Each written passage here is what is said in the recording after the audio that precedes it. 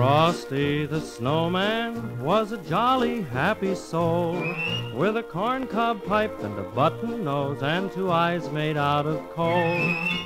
Frosty the snowman is a fairy tale, they say. He was made of snow, but the children know how he came to life one day.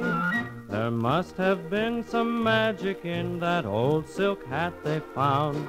For when they placed it on his head, he began to dance around. Oh, Frosty the snowman was alive as he could be. And the children say he could laugh and play just the same as you and me.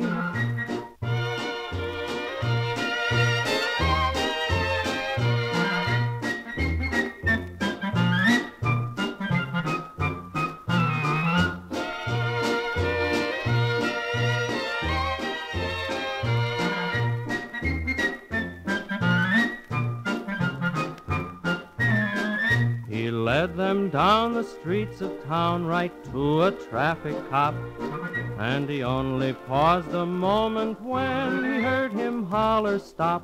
For Frosty the snowman had to hurry on his way. But he waved goodbye, saying, Don't you cry, I'll be back again someday. Thumpity thump thump thumpity thump thump look at Frosty go. Thumpity thump thump thumpity thump thump over the hills of snow.